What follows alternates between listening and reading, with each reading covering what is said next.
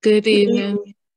Um, welcome Good evening. to, okay, good evening and welcome to Bible study. Um, glad you join us. Um, we have with us Reverend Artis, and we're going to ask him to pray first, and then we'll get ready for Bible school, okay? Yes, Thank you. Okay, amen. Well, good evening, everyone. Uh, I pray that you had a wonderful day and that throughout this week, uh, you were remembering what we shared on Sunday, uh, that you were taking a moment just to pause and to see the importance of this holy week. Um, before we go any further into our Bible study, again, I want to thank you all for allowing me to share with you on Sunday. Uh, and it is my hope and prayer that tonight's lesson will be informative and that it will be transformative for you and your your uh, church family. Let's go to God in prayer, though. Gracious Father, again, we pause just to say thank you. We thank you, God, for the opportunity to be here, even on this digital platform. We know, God, that we could have been anywhere, we could have been doing anything at this time, but we took it as an opportunity of growth uh, that you may grace us with your presence. So, Lord God, be with us in this time of study as well as this time of just sharing so that you, Lord God, would get the glory out of everything that we do, thing that we say on this evening. I thank you, God, for uh, these, your people who are here. And I ask, Lord God, that this time would be informative and give them what they need to go on and just to see what the end is going to be. So, Lord God, bless this time as our prayer. For us in the mighty name of Jesus that we do pray and ask it all. Amen. Amen. Amen. Well, let me see. We got 15 people online. Uh Deaconess Parker, if you still have that ability, you can share that Okay, uh, let's access with me so I can share my screen. Okay, let's see. All right. Did it come up? Are you No. okay? No. No, it, Okay. it did not. Deacon Diedrich? Diedrich. Yes. I'm Um, um I'll I'll reach out to Leon real quick. You got There it it? is. Hey, I Yeah, got you it. got I got it. Yeah. I got it. perfect. All right. All right. Thank you. Wonderful. Thank you. Awesome. job. And it, That's right. I love it. Okay. I love it. Teamwork. That's right. Thank you. To make this work together, okay? All right, y'all give me a second just to make my screen more user friendly. All right, there we go. So for those who just joined us, um, if you were not with me last time, we're coming from a book called The Practices of um, Passionate Worship. Um, well, excuse me, that is the chapter that we're in on tonight. It's actually the uh, Growing Congregation. Um, and I can send you a picture of it um, uh, after after Bible study. I can share that with you uh, to give you the exact title and author if you want to pick up a copy of it. But uh, on last night, well, last time we were together, uh, we talked about the fruitfulness of a congregation uh, and what it takes to be a growing church uh, in this day and age. Uh, tonight, we want to look at the practices of passionate worship. And I believe that God uh, uses our worship on a regular basis on Sundays or anytime we have uh, Sunday or uh, worship, uh, excuse me, weekly worship. Uh, God uses that time to strengthen us, to encourage us, but also to equip us uh, so that we can go out into this world uh, where we work, where we live, and to share with other people the testimony that we have uh, as well as to give the encouragement that we receive while we're in worship. Uh, worship is not a spectator spectator sport, uh, but it is a act of reverence. Uh, it go it, for me. Worship is very um, it, it's planned out. It's thought through. Uh, it's not something that just happens by by happenstance. You don't just happen to stumble upon uh, a good time of worship, but it's intentional. um, and and we don't uh, we allow the Holy Spirit to utilize what we have planned and what we have put together uh, so that the experience overall is influenced. Um, we don't just lean on the Holy Spirit to do all the work, uh, no, but rather we do our part so that the Holy Spirit can fill in and enhance what we've already done. Um, so I hope you're taking notes. And at any point, if you have any questions, uh, feel free to chime in. Uh, when I do in-person Bible study, it's a little bit more interactive because I'm moving around. I get to to see who I'm talking to. Uh, virtual is still good, um, but if you using your hand emojis or anything like that to raise your hand, I'll see those as well. Turn with me in your Bible, and you don't have to turn, but it, it, it will be good to just know or reference this scripture right here, Luke, the 10th chapter, 27th verse. Uh, and this is one of those Bible verses that I learned when I was a kid say, You shall love the Lord your God with all of your heart and with all of your soul and with all of your strength uh, and with your mind and with your mind. I'm going to say that one more time and with your mind and your neighbor as yourself. Uh, and the reason that I keep emphasizing that with your mind part uh, or section within that verse is because oftentimes we leave our mind at home for some reason when we come to church. Um, we we come with our heart, we come with our soul, we come with our strength, uh, to be sure. But for some reason, we don't often consider that my mind is a part of this worship experience. Um, uh, unless we get to a part that invokes our emotions, you know, when the preacher says, When I think of the goodness of Jesus, um, and we have an emotional response. Uh, but if you actually think of that part or think of or you consider what is being said, when I think of the goodness of Jesus, um, and all that he has done for me, my soul then responds as an emotional response to what my mind already cultivated, what my brain said is right, which is true. Uh, and that is God has indeed done whatever it is that you're expressing. Um, so it's important that when you first come to, to, to worship, don't leave your mind at home. Bring your mind with you um, because the experience is far greater when you are in tune, not just with your emotions and with your senses, but also you are partnering all of that together with your mind and you are focused, you are mindful of the space that you're in, as well as what you are interpreting. For me, there is something powerful about worship um, where all pretenses are, are peeled away um, people speak, they pray, they sing together, and, and they're not concerned about what other people think about them. Everything just naturally flows from the heart. Uh, and, and the reason that we do this, this, this corporate worship, is because God manifests God's self in the presence of God's people. Scripture declares where two or three are gathered in my name, there I will be in the midst. And that is very important to know that, yes, I can worship by myself. I can have an encounter and an experience with God uh, when I'm, I'm in my devotional time. But it is just something about when we all get together. Of course, we have a good time. We hear good singing. We hear good preaching. Uh, but it is something about the spirit moving amongst the people where you can feel it you can you can sense it you can imagine it. You can just have an overall just experience of god in one place all together in fact when the disciples were all together in the upper room days after jesus had been crucified had been had risen from the dead uh, and he was walking amongst the people, as the Bible says.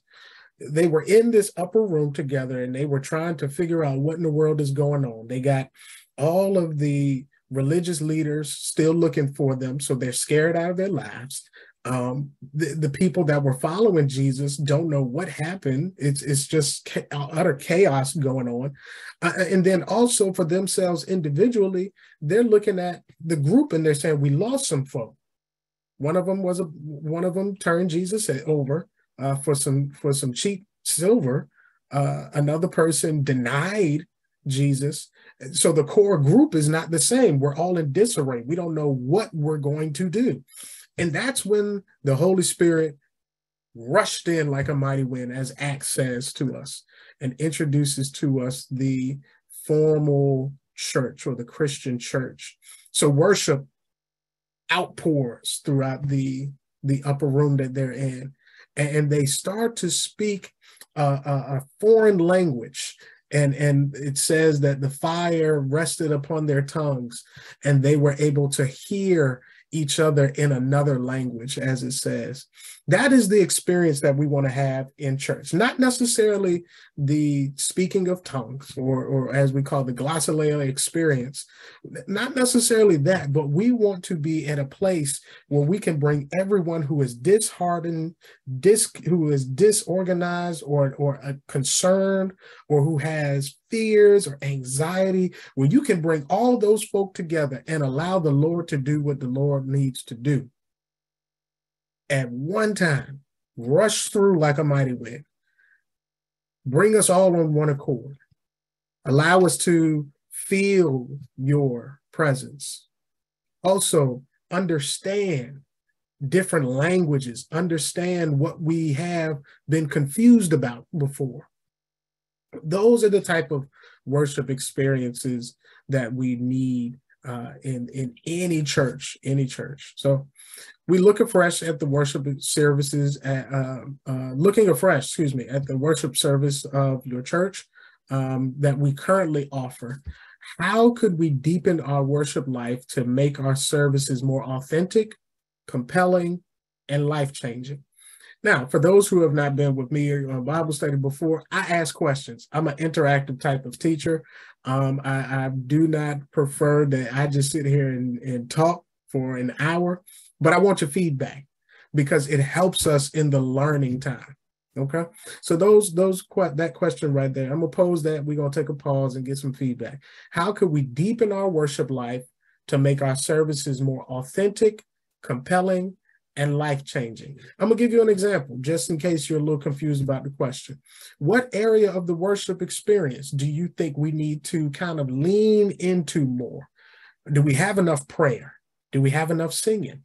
Is there enough time for us to fellowship with one another? Are we uh, in and out too quickly? Are we staying too long? Uh, and this is not to just poke or prod or to just say, hey, we need to do this at more like a, a, a logistical thing, but just to hear each other's each other's thoughts. Okay. So let me let me get somebody to give some feedback.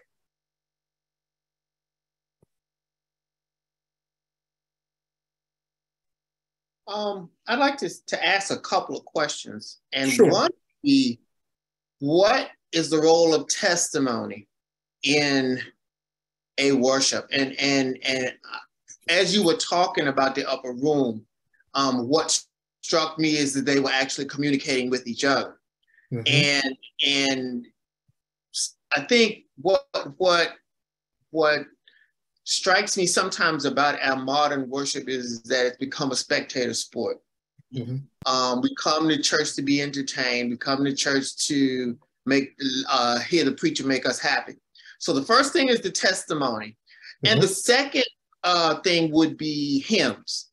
Uh, we're getting sort of out, of, of the traditional type of hymns, and, and I'm very sensitive or, or, or just looking at how the modern church is transitioning away from hymns to more praise and worship type, or is there room for everybody? You know, and so I, would like to pose those two to you.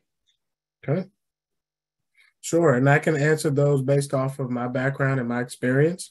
Uh, the testimony portion, and if you refer back to Sunday's uh, sermon, that was literally a part of the thesis. Uh, is that when we have an encounter or an experience with Jesus Christ, that should pro- that should prompt and push us to go forward and share our testimonies in service, meaning in the physical building, or outside of service. At any point that you have the opportunity to share a testimony with somebody, then you should. Now, spe- speaking specifically about what you're saying when it comes to worship service, like let's say on a Sunday morning, I do remember, and I, I, did grow up having testimony service with a deacon's line in the front, and we had testimony service. I think it was removed from this worship service because it became elongated, it became too long, uh, and it, there was no structure to it. Um, and when we're looking at worship logistics, we definitely want to have some type of structure.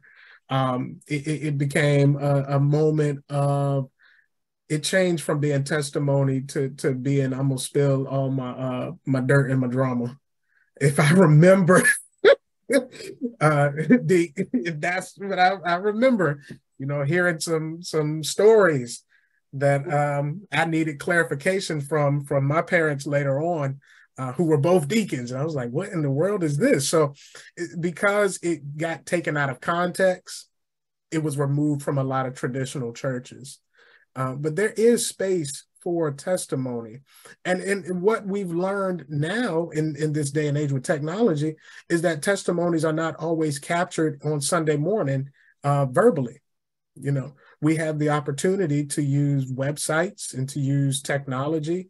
I, I, know a church specifically that they allow you to share your testimony or prayer requests on their prayer wall, on their website. And people access this and they go on and they're praying for one another. They're also updating their testimonies and saying, hey, you know, this is what I shared you all with you all last week. Here's the update you know those kind of opportunities are presented to us so that we can access it on an on demand kind of basis if that makes sense and then the second part of your question hymns i i'm, I'm a hymn uh buff I, I love um, all types of traditional hymns, anthems, and, and all of that. They have proper uh, place within the worship setting. Um, I honestly prefer to hear the hymn um, during worship in conjunction with the praise and worship, as well as the um, other uh, more new age um, contemporary. That's what it's contemporary gospel songs. You know, um, they have to have balance because you got to be able to, you got to be able to, to to give give a little bit to everybody. You know. Yeah. Thank you. Okay, I have a question. Mm-hmm. Okay, so um the you spoke about being in the upper room um mm-hmm. in the Holy Spirit. Um, with the Holy Spirit, do you think that we need more teaching and explanation on the part of being baptized with the Holy Spirit and just the Holy Spirit coming upon um, the the disciples in the upper room. Does that make sense? It does. And I you all, if you see me kind of put my head down, I'm taking notes of your questions so that I make sure mm-hmm. that I answer them directly. Um, mm-hmm. So let me just read it back. So um, you were speaking of the upper room experience. Do we need more teaching on baptism of the Holy Spirit or baptism or um, the receiving, Holy, yeah, receiving of the Holy Spirit? Yes. Um, okay. Do in in talking about the Holy Spirit, um, perhaps not enough information is given. Um, you know, like in certain churches, they do certain things like run around and all that stuff. No, that's not what we need. We want to understand. We need to understand more of what the Holy Spirit and being baptized, the baptism of the Holy Spirit is. Does that make sense? It, it does make sense. It does make sense. Yeah. Yes. Yes. Deaconess Parker, it does make sense. So um what we must understand about the Holy Spirit. So the the purpose of the Holy Spirit coming um was to be left as a comforter. In fact, that's what Jesus says, you know, in the scripture after he ascends that I'm leaving a comforter with you um who is not to just make us run around like like you said even though I believe and I've experienced that myself where I I don't know what it was, but I can't say no, it was nothing but the Holy Spirit that made me run around like that because of the experience that I had, as well as the feeling of shackles being breaking, broken, um, just the overall just release, right? Uh-huh. Um, so that has its part. But going back to the original statement about learning about the Holy Spirit, I'll be very honest with you. I have a person who I contact when I have questions about this. Um, mm-hmm. But I can answer this question. Um, I think there's two trainings of thought. And we experience, we see this in the various denominations. So uh-huh. you see more of a Pentecostal Reformation, holiness kind of Reformation, where uh-huh. they believe that the Holy Spirit uh, is Holy Spirit, the Holy Spirit, as well as speaking in tongues, are expressions that you are now um, saved, right? Um, yeah. Whereas uh, Protestant or Baptist belief, as we are Baptists, we mm-hmm. believe that the Holy Spirit is already given to us. It's it's already a gift of grace mm-hmm. that is extended to us without us even having to ask for it. Uh-huh.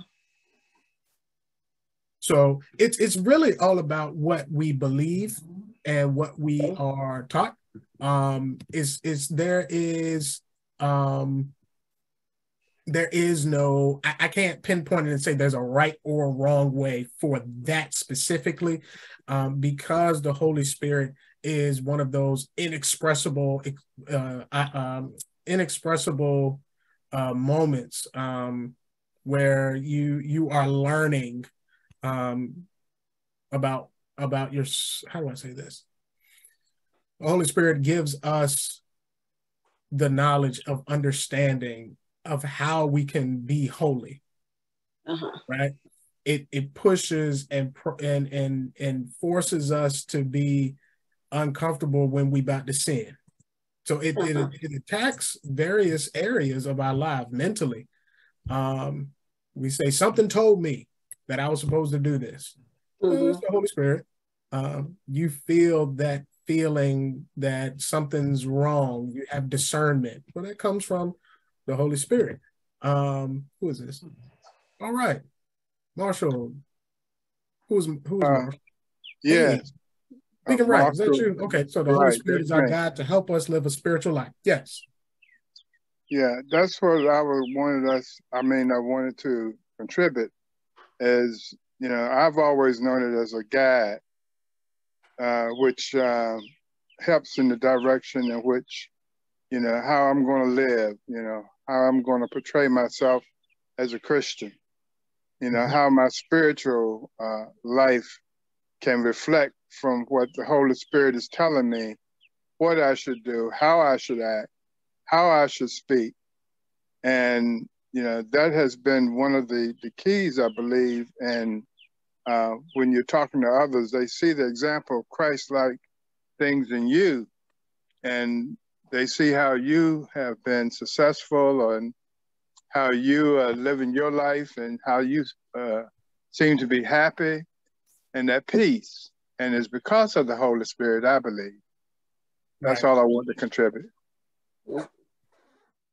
and thank you for the contribution. All right. Deaconess Parker, did we answer that question for you? Yeah, yeah. Except okay. for the part about in some in the Bible said we had to ask for the Holy Spirit. It, I mean, we ha- receive it in salvation, but also we had to ask for the continual filling of the Holy Spirit. Right. Mm-hmm. Right. So, so we, we, and we know that that's an uh, that's a that's a process. That's an ongoing thing. Uh-huh. That's, that's, not just one time. Yeah. And, and yeah. done. You know, it's an ongoing thing. Okay. So. Yes, ma'am. Thank you. All right, let's let's go to this next slide. Okay, authentic, alive, creative, and life changing worship. So worship describes those times we gather to deliberately together, seeking an encounter with God. Um, worship provides a time and a place to think less about ourselves and more about faith. Uh, it's less about our personal agendas and more about God's activity and will. So if there were ever a time that we needed to have corporate worship, it is definitely now.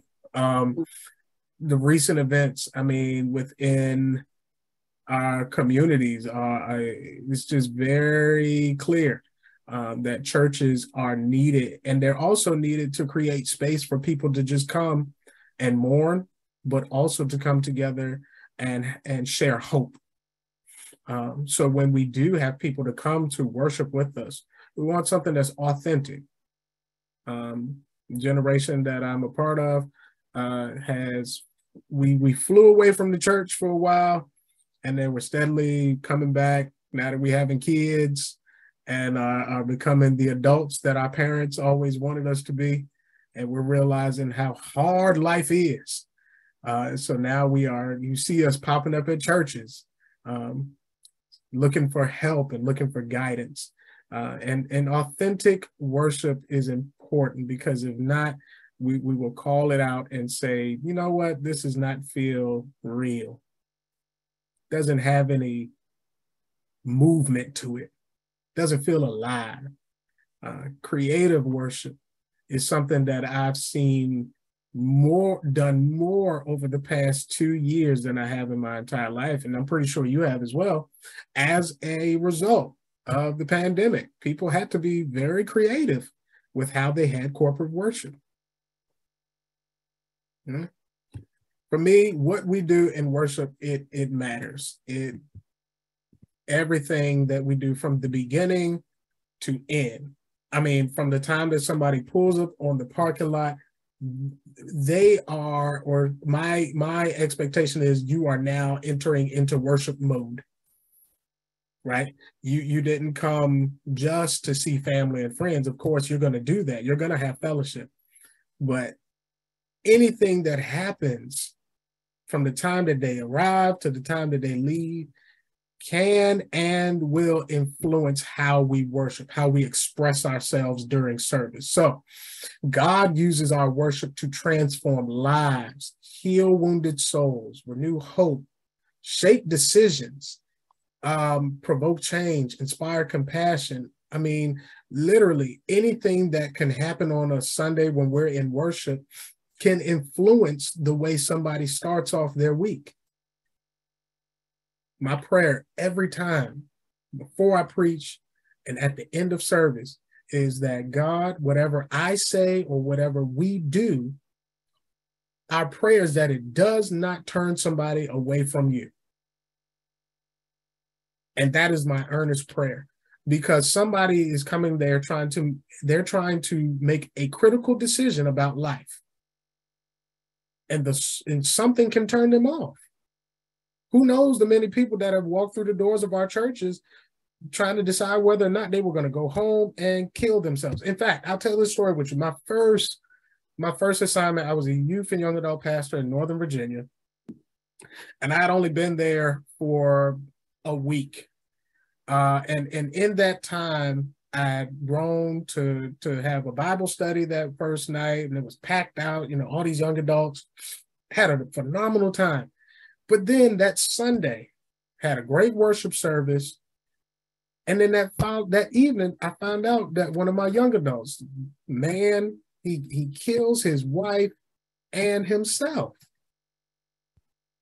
And, and it, it it really messed with me. It bothered me. That was my first time experiencing that kind of of hurt as it from a pastoral standpoint where I just wondered what could I have done differently to help him? What support was needed? Because those kind of things happen all the time. But we take it for granted our time together because we don't assume that this time, this one hour that we have together, or hour and a half that we have together, is, is not as important. No, it is. It is. Somebody's life can literally change in a blink of an eye just by coming to worship with us. Worship also sends us into the community more consciously aware and spiritually present. Uh, excuse me, prepared to represent God's hope and become ambassadors of His grace. That's what you were talking about, um, uh, Deacon Wright. Uh, yeah, Deacon Wright. it, it- the Holy Spirit utilizes us and informs us. It it pushes us and gives us the understanding of what we need to know, so that when we go out into the world, we don't misrepresent God. And, and we see that a, a lot in politics. I mean, there's a lot of misrepresentation of what a Christian is these days. You know, so what we have to do is is ensure that our worship together is mindful, but it also is socially sensitive so that when we inform folk to go back into the communities, that they are ready to transform them. All Can I right. ask a question? Yes, sir. Um, so then, uh, Reverend Artis, what, what causes us to hold our testimony or to shy away from giving a testimony? Uh, I mean, sometimes, you know, it seems like it's so hard to get people to share that because of whatever reasons. What, what are some of the reasons you think people hold on to it instead of sharing? Uh, I can give you a couple different reasons. So the first thing that I'm thinking of based off of your question, one, people don't have the space for it. There's no space created for them to give a testimony. Okay, Either they explain that? Feel- Hmm, Sure, I can explain that. When I say space, I mean that there is literally no space, whether it be in a room with other people or they have no contact with other that they can formally give their testimony. I gave the example of using the website. That is create that is a space for people to do that. So sometimes they don't have the space to do it. That's an outside issue. That's something that is not necessarily always in their control, right? Another issue that they could be is they might have some pride or they might have some pain. Oftentimes, the testimonies that we have are not always tied to exuberant praise, right? We don't continue to preach about sharing your testimony um, because we believe that everybody has this powerful, impactful testimony that is just so happy. Sometimes our testimonies end with us being alone, being pulled out of situations that we might have wanted to stay in. So it could be that. Uh, a third thing I think um, is space. It could, and then oh yeah, sp- space, pride or pain, and then it could also be people. They just there's a, there's a text in the Old Testament that says, uh, "Don't be afraid of their faces." And oftentimes, the space can be too overwhelming for for folk. They want to give a testimony, but they probably need the platform or the space of like a, a website so they can do it anonymously. It's not that they don't want to, they're just a little shy. Thank Uh, you. Great, great answer. Thank you. You're welcome, sir. Rev, uh, um, one of the reasons why I don't, I'd love to share right now is because I, first of all, I be thinking that even though I go through a boatload of stuff, everybody else go through more stuff than I do, and I yield to them to give theirs. Now, maybe just maybe I yield too much because I don't do a lot of testimony. But at the same time, I recognize why I don't, and I and I wonder if I should just say, forget about everybody else. Here's my testimony, and just mm-hmm. and just do it. But but I, you know, I be trying to restrain myself because the Lord has been great to me, Mhm. and I just I don't want to take the floor and keep the floor. Does that make sense? It does. It makes perfect sense. Uh, one, let me tell you and, and share with you. Well, let me excuse me. Let me empower you uh, and remind you that you are worthy of sharing your your testimony. That that's the first thing. Um, your testimony is no bigger or smaller than anyone else's. It's your personal testimony. Therefore, it is a part of God's grace that's been extended, and you know this, and you can share with whoever you would like. Um, if you are ever in that type of setting where you feel the unction to share, I would encourage you to share because you're not just sharing it to get it off your chest or to share it, but you're sharing it also to encourage someone else. Someone else might need to hear what you have to say.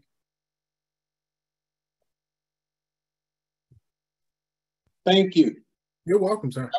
Y'all better look out.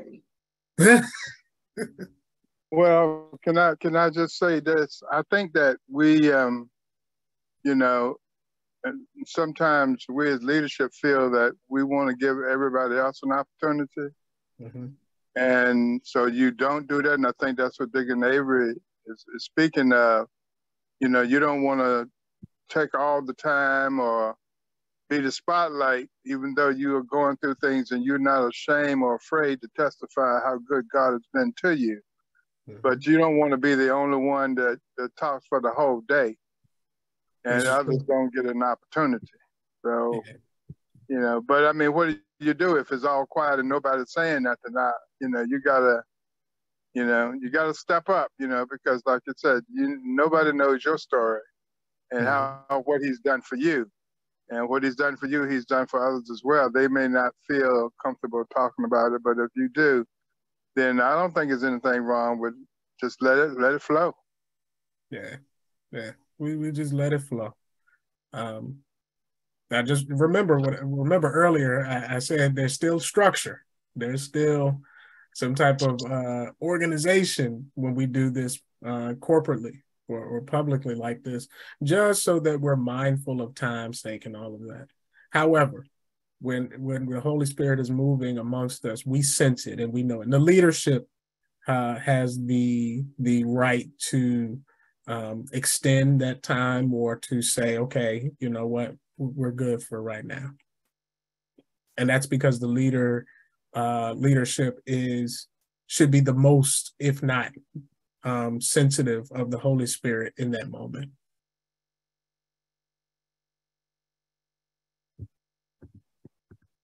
Hmm. Let's see. I'll, I'll, I'll, add on to that as well. Yes, sir. Um, a lot of times when we well when we give our testimonies, it's not technically for us ourselves. It's actually for those who who may need to hear the word because truth be told, uh, sometimes Jesus, the only way folks can see Jesus is through us. How do you know how to tell somebody about a man without, you know, without explaining what he's done for you? You know, and and sometimes your testimony could be the one word that folks hear to stick uh, to a situation that they may, may, may be going through in a similar way and find out, hey, this is what the Lord helped me get through. Mm-hmm. And it actually, you know, helps both. You know what I mean? Not only is it helping yourself, but someone, you know, may have a life changing uh, experience by just hearing a word that you never knew uh, that would seem common to you, but just saying it may be little to you, but humongous to somebody else out there listening. Yeah. Thank you for that addition, sir. Yes, sir. Yeah. Let's let's look at this next slide. Um, we got about five more slides we need to get through. All right, so at the beginning, we, we know that people have been coming together for worship, for prayer, uh, listening to God's word um, forever. There, there was just always some type of church, even though it was not called church. The Greek root or the Greek word is ecclesia, um, meaning to call out, um, refers to calling people out of their ordinary life to gather in sacred time and space. So let me ask you these kind of questions. I just want to get some some feedback on your journey as Jerusalem. What did COVID teach you about joining together for worship? So that's the big question. These are the questions I want you to share. What did you keep What did you do away with? What did you learn about yourselves? You're right. Um, I'll, I'll I'll start. Sure. What what? A couple of things. One, COVID taught us or taught me, um, as far as worship was concerned, to look for people who really wanted to bring that energy to worship, and not just make somebody stand up because well we need somebody to pray. You go pray you know, if you stand up and you really don't want to be there, I think the, the, the congregation really can tell it. So mm-hmm. so it, it, it came, it, we got really down to the bare bones of what it means to try to approach God. And a lot of the, some of the form and fashion, you know, sort of you know went to the side and we began to, to just say let's come together to to to thank god for for for all that he's done. And and you know in the baptist church we have the you know the opening selection and somebody talk and then the, the next thing and then somebody talk and then we had a scripture and somebody talk you know and, and we just sort of like uh, get our way through our worship now it's it's more of let's come together and let's sing to the glory of God and then let's hear the word of God. You know, and and I, I love the way that that we're doing it now because it's not so so you know huh, ritualistic. That's that that's that's the word I wanted. It, it's it's a lot. It's freer, and we're open. Um, we're open to changes much freer now um, than we were um, pre-COVID. I mean, we'll, we'll we'll switch it up in a heartbeat, you know, based on um, on the movement of the spirit. That's just my good. Thank you. Anyone else? Well, I think commitment, um, and it, it gave us an opportunity. COVID gave us an opportunity to examine ourselves mm-hmm. and to uh, commit or recommit ourselves to worshiping Him, regardless of the situation and circumstance. Uh, however, I do feel that there still needs to be structure, uh, you know, because not everyone may feel the same way uh, with with rituals and traditions, and you know, some people is more important to them than to other people. So I think we have to have a balance in any service so that you know everyone gets fed the word of God the way that they feel that they should have it. Uh, and if, you know, we're there to be servants, you know, we're there to encourage one another.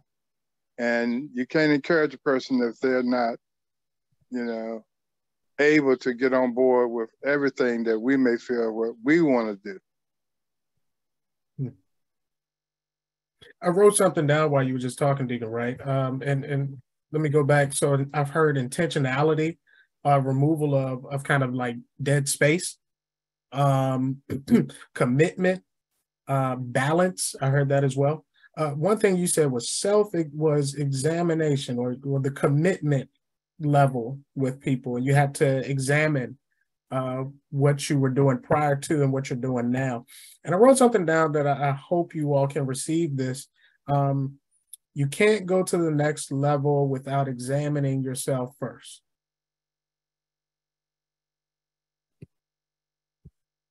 Amen. And, and I think that that's fitting when we're talking about worship, uh, because worship does not start when you get to church. It starts at home. It starts in your bathroom. It starts when you're in the shower. It starts way when you wake up your eye, when you open your eyes in the morning, you are immediately cognitive or aware of what is going on around you. Therefore, as an act of worship, you say thank you. I also believe that the jury is still out on what COVID has taught or is teaching us mm. because we we have um, made physical church secondary Hmm. In many ways, and and um and the challenge is, did we make the Lord secondary in the process? And I'm not equating being in church with worshiping God because I know you can do it whether you're in church or not in church. But I'm saying the jury is still out on that. We that that hadn't been decided yet. But you'll know you'll know the uh, tree by the fruit that it bears. Mm-hmm. Mm-hmm. So when you say physical church um, being secondary, but you're not, I just want to make sure I'm, I'm hearing you clearly. You're not saying that coming to to church on a Sunday is indicative of your relationship with Jesus Christ. I I hope not, but okay. the jury is still out. The jury is still out, and I'm and I'm saying that because I teach a Sunday school class that has many times has had as much as 15 people in it. Mm-hmm. Maybe they are still worshiping, but they're not in my Sunday school class, mm-hmm. and I'm not giving up on them yet. I'm just simply saying the jury is still out. We'll find out. Okay. I agree with you. The jury is definitely out in in many uh, churches, specifically based off of what you're sharing with me, um, we are still in a in a post COVID. It's almost like an endemic kind of thing. Where we're we've just been we've had the the bumps and bruises of COVID. We learned what we wanted to learn, or we did. Uh, we learned what we did not want to learn, and now we are in this space where we're we're moving, right? Uh, we're moving at our own pace. We move how fast we want to move. Um, and some of our services or acts of worship, um, i.e., a Bible study, a, a Sunday school class, uh, while they are very important, we found a way to do them in different ways. So I'm I'm I'm on board with you. I agree. The jury is still out on that, and I think it's going to be out for a while. It gives us more space to be even more creative. Right. Anyone else? Um, what did you do away with? What did you keep? What did you learn about yourself during this time? Um, if I can share with you all, I talked to some friends of mine before. They're they're non-preachers, but and in talking with them, their families uh, stopped going to church during COVID, and um, they recently just started going back and he said, you know, I, I didn't realize how important it was to have my my kids, um, my friends talking about his daughters in service on Sundays because they get the same experience I had when I was growing up. It's like that's true, and we we value that now, uh, but it it was not something we were as eager to do when we were younger. I saw someone came off the uh, mute. Yeah, Pastor uh, Artis. Mm-hmm. My name is um, Steve Jeter, and what this COVID taught taught me was that it was it was change. Mm-hmm. Um, that we can't put we can't put Christ in a box. Mm. We, like you say, now, now we were uncomfortable. We we were used to doing. Was it just a ritual? Was it was you come to church, you do this, this, this, and that. Now we had to be still. God was talking to us, and are are we listening? And are are we really submitting to Him? You know, we are we are we really being obedient? You know, just because we're not inside the church, you know, are you going to stop? Are you going to stop worshiping God? Mm-hmm. So he made us uncomfortable. And like Ari said, the jury's still out. Some people stop coming for whatever reason. But did your faith get stronger or, or did your or did your faith wade? Mm-hmm. Is what I got. Mm-hmm. Mm-hmm. Yeah, I, I, I, like that. I like uh, that that Christ uh, can't be put in a box. Um, and, and, if I take uh, preacher liberties, I'll, I'll make up the word boxify. I think that that is a word, but I'll use that in in this context. um, that God is more vast than we would ever assume or could think. Um, it's it's always interesting to me the the text that says uh, that God will um, will provide for our for our needs. Um, what is it? It says that the God will do exceeding abundantly. There it is. Do exceeding abundantly above all that we ever wish, hope, or think. Um, could, could it be that that that is not talk, always talking about the tangible things that we receive, but God has the ability to increase our worship, to increase our our time of sharing with each other, and and if we would ever just pray for an overwhelming amount of people to be at Bible study or at Sunday school, you know, Lord, give us the creativity that we need or the people and the resources that we need uh, so that we can touch and impact lives in Bible study. Just leave it right there and see what God does. yeah, Pastor, uh, I, I, think that the, the jury is still out. And, and here's my reasoning for saying that is mm-hmm. that we have uh, like Bible study, like before going into COVID, I think Bible study was probably eight to 10 people, and now we're like 19 or more on a Zoom on a Zoom call. Mm-hmm. But Sunday school, which was, you know, like Avery said, you know, every Sunday we had people in Sunday school. Now we have no uh, very minimum in Sunday school who are learning about the Christ. So we have to continue to develop and and and and change as things have changed because we we're not there yet. Okay, that that's we're just not there yet. Okay. Okay. Thank you for your feedback. I think um what what uh just picking back on what you said and and um how it, it interpret how it's shared within this um, is that God can and will do what we we need God to do as long as we are open to trying something different, which I will say you have definitely said that.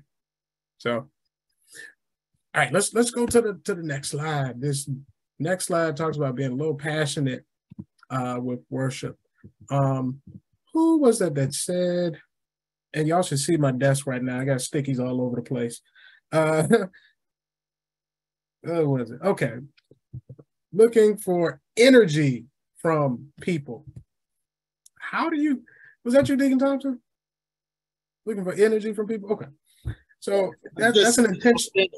Authentic worship. You, authentic you want, worship. I don't necessarily, you know, looking for somebody to get up and, and shout and scream, but when I look in your face, I can tell and a lot of people can tell if you don't want to be there, you know, if you just stand up there because it's your time and your name's on the program and you got to do it, mm-hmm. you know, versus someone who's who just comes humble and just wants and just pours their heart out, even if they stumble all over themselves, you can tell, you know, that that that is where it's coming from. And so that that was my statement. Oh yeah, oh yeah. Uh, worship expresses devotion, honor, love to God. You can tell when I'll pick on myself. You can tell um, as a preacher when the preacher has not spent time with God. And that's not saying that they're not called to preach. However, you can tell during the sermonic moment when they have not spent time with God that week. Um, or if it's the Saturday night special sermon, you know, for for for whatever it is, we'd have to be intentional of our worship, right? Uh, I shared this. It might have been the first Bible study I did with you all. That my my favorite time of the day uh, is, waking up and being able to do my devotional. I just, you know, if the weather's nice, I sit out on my patio and I just stare at the the trees, listen to the little tree, the creek behind me, and, and I'm just talking to talking to the Lord. Um, and that's how I start my day because I know any and everything is going to happen. Whether I pray it away, wish it away, throw some money in a in a fish jar or whatever, it's going to happen. But what I can control is my response and my reaction, my disposition to everything that happens. So that way I give, I give, I honor and I give God space to flow through me. So that way I ain't caught off guard and don't, y'all forgive me, don't cuss nobody out. Right? You have those moments and you got to spend time in worship alone by yourself so that you can express it passionately with other people. Passionate worship, worship fosters the yearning to authentically honor God. When was the last time you, you just told God, I honor you? I, I adore you. Before you even ask for for anything, let just thank him for everything. And just just bask in the moment that God is Emmanuel with us. God is with us, you know. Um, we we we oftentimes get so bogged down with the weight of of responsibility with the world, with our families, and society. I mean, you turn on the news and you know schools are being shot up, and it's you just got to take a moment and just remind yourself of how you authentically love and cherish God. Okay. And that is how you flow into being passionate on Sundays or any worship experience.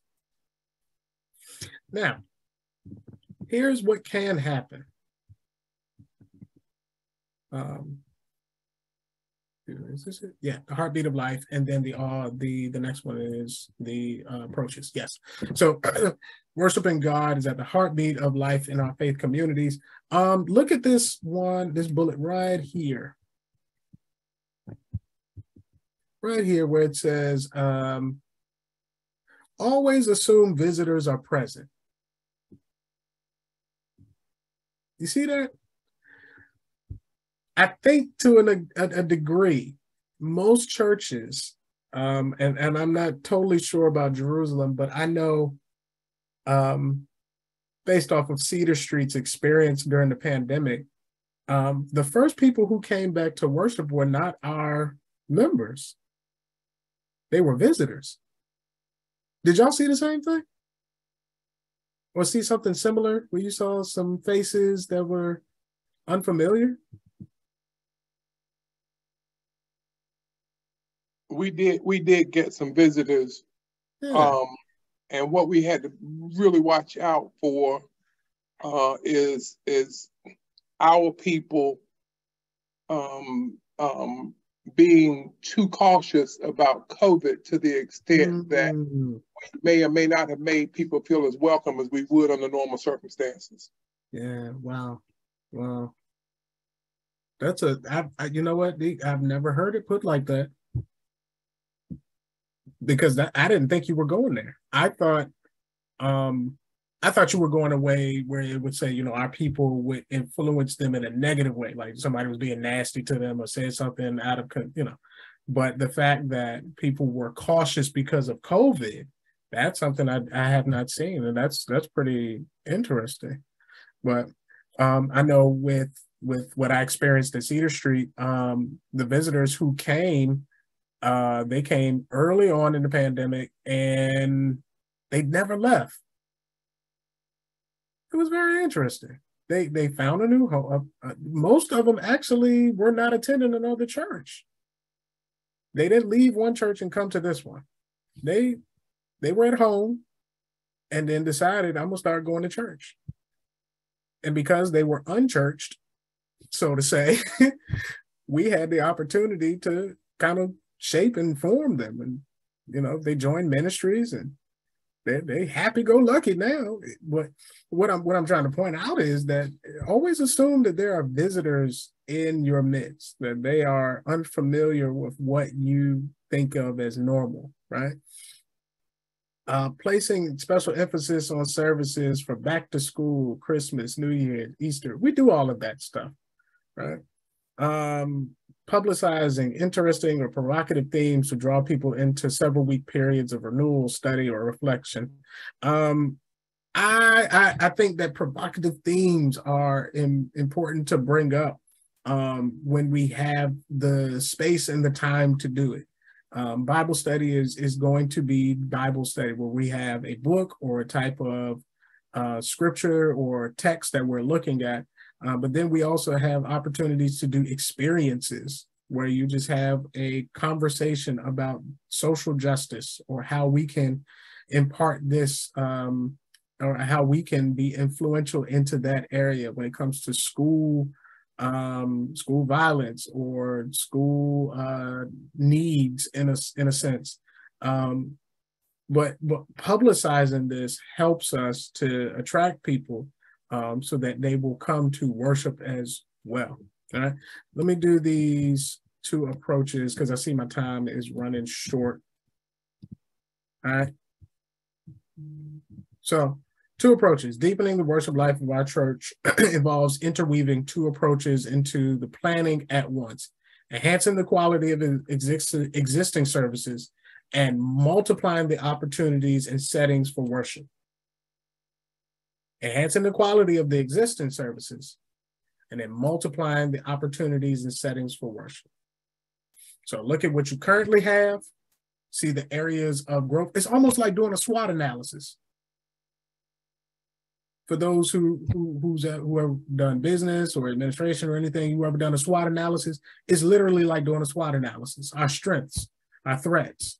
Uh, I, I don't really care for the word weaknesses, but limitations, and then opportunities of growth. All right.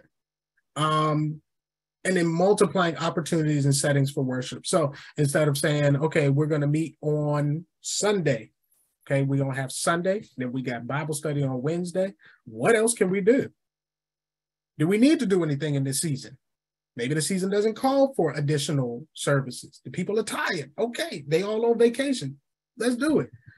But we know while we're on vacation, while we're waiting for the fall. We're planning during the summer so that we know by the time the fall comes, we're ready to go. Right. So in, increasing those opportunities and settings for worship gives people the oppor- gives them the advantage of being in fellowship together more often. And it, that helps because we have uh, varying schedules even now. Like my daughter, uh, she does competition cheerleading. So some weekends she is gone for two, three days. Um, she does more traveling than I do right now. Um, it, but we have to still find a vein or find some type of connection for youth and young adults, right? I checked out the uh, church Facebook page and I saw that the kids went to uh, an event. What was it? Maybe about a week or two ago. That's phenomenal that's awesome. You have to keep that consistency so that they will have something to look forward to. And then we also know live stream services. Live streaming a service can be great, but it can also be a headache. It can cause all type of anxiety um, because as the one who is um, who's doing the streaming, you want it to be perfect, right? Um, you want to broadcast what your church uh, is doing, um, and, and you want to do it in an authentic way. So, some one of the Zoom users said, "Amen, amen." All right, let's let's round this out. All right, imagine your new worship. John 15, I am the vine and you are the branches. And later on in the, the Apostle Paul talks of us as a body with, with many parts. Um, we each have a role, we each have a, a lane that we work or serve in. And it is not up to the pastor, it's not up to just the leadership. It is entire the entire ecclesia, the body of Christ, to ensure that worship is exuberant, right? You can't come in as as one of our leaders said, you can't come in and just expect to get a show. The football game is only as exciting as you make it. In fact, if you've been to an NFL game, you know that the commentators that you hear on TV are not in the in the actual uh, arena. You got to make the experience better. All right. Imagine the motivation for enhancing the quality of worship and multiplying the opportunities for worship. Um, it, it's allowing God to use us and our congregations to offer a more abundant life for all. That's the overall goal of worship in in in this new day and age. Now I, I closed out my screen um, just to get some comments or, or questions, but that is our our position to have passionate worship. Um, is is to make God shine. It's to make God happy. Um, I remember when I was a kid, I used to think, you know, why does God want all of this honor, glory, and and then I had to live life and and understand that it's not that God wants it, but God deserves it. So therefore, every opportunity that I have, um, I will give that unto God what He is rightfully due. Um, because when I think hmm, of the goodness of Jesus and all that He has done for me, uh, my soul has to just follow my head and my mind and just express how much I am utterly in awe with God. Are there any questions?